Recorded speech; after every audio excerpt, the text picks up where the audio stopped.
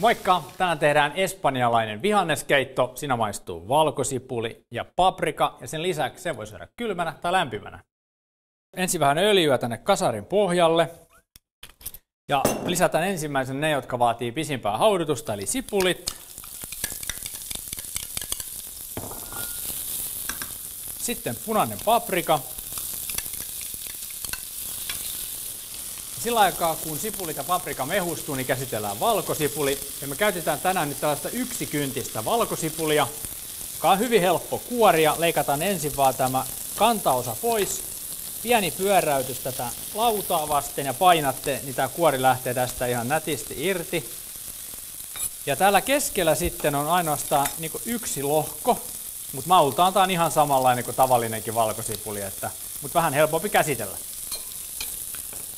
leikataan viipaleeksi paprikan ja, ja keltasipulin joukkoon. Kasvisten käyttöä muutenkin kannattaa kyllä suosia, että kasvisten osuus ruuassa pitää aika suuri olla, koska sieltä me saadaan hyviä vitamiineja ja ravintoaineita. Ja nyt annetaan sitten kasvisten hautua 10 minuuttia kannen alla. Noin 10 minuuttia on kulunut ja kasvikset ovat pehmeät ja tämän jälkeen sitten laitetaan ne tämmöiseen tehosekoittimeen. Tämä toki voi tehdä ihan sauvasekoittimellakin, mutta jos teillä kotona tällainen tehosekoittaja löytyy, niin tulee huomattavasti vielä tasaisempi.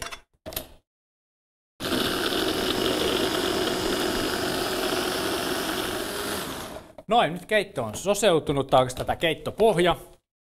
Ja tämän jälkeen laitetaan takaisin se tänne kattilaan. Sitten lisätään paserattu tomaatti. Vähän suolaa. Sitten kasvislientä, eli mun on tässä vesi, johon on lisätty sitten kasvisliemi tiivistettä.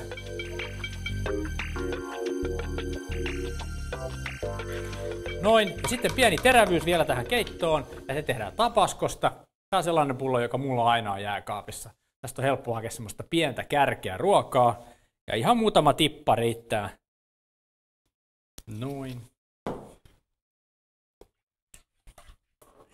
Sitten laitetaan keitto tarjolle.